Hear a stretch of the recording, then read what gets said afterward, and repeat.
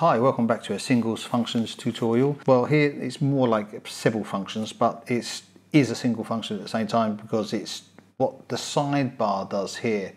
Now, there's a difference between the sidebar for the audio and MIDI. Here, you can close these down and sometimes you might not even know these are here because they're completely closed. So if they are closed, just click on these little triangles here to open them up. And you've even got more as well here so you can bring that down and expand. So you've got mute, loop, uh, quantize, this is for the MIDI of course, transpose, uh, we've been over, we've got velocity, stuff that you kind of know already. Then this is really good function, the delay, you can delay your track by ticks, forward or back. And um, that is really good if you kind of, your track is kind of slightly out of sync, you can bring it forward and backwards. The dynamic, well, that's basically what it says it does. You can you can uh, increase the dynamic of the track, uh, which is obviously the velocity dynamic, and um, the gate time as well of the actual notes themselves. Then the clip length, um, we can show the score. So when you open up score, that shows. Then you've got like Q velocity, Q length, Q flam, Q range, and Q strength. So this top part is the regions sidebar. So if I just go, I click on like this here, that will just be the region part.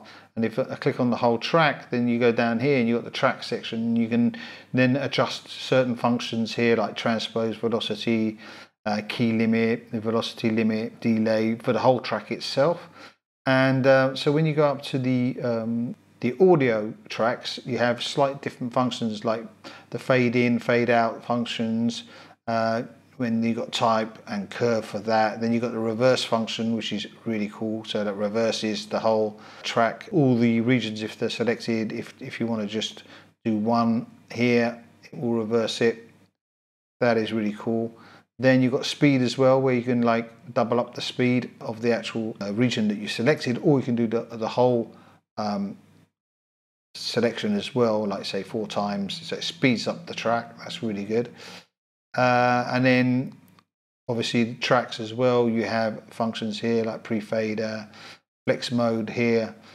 And um, then you have the channel, the audio channel, stuff like that. Also, if you go back to the MIDI uh, on the track size, we have the instrument uh, and MIDI channel selection here as well. So you can select a specific channel. So yeah, this sidebar functionality is worth looking at and uh, I use it all the time and they're kind of like shortcuts to, to access uh, functions. Also, to speed up your um, workflow, you can just put your hand over here.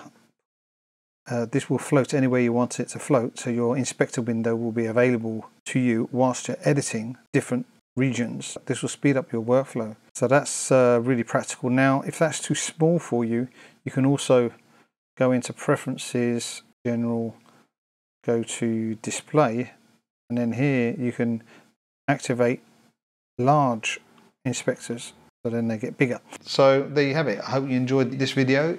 If you did, like, subscribe, and I will see you soon. Ciao.